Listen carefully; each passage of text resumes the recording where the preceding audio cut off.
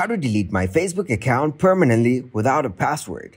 Hello everyone. In this video, I will show you how to delete my Facebook account permanently without a password. First of all, open up the Facebook app. Once you open up your Facebook app, click on search icon from the top. Search for the account you want to delete. Then open up the account and click on three dots. And then click on the report profile option from profile settings. To report a profile, you have to choose the problem. Choose the problem as pretending to be someone else. Then select the most relevant option as friends, then search a friend's profile. Otherwise, you can choose the me option, which means this profile pretends to be you. Then click on done.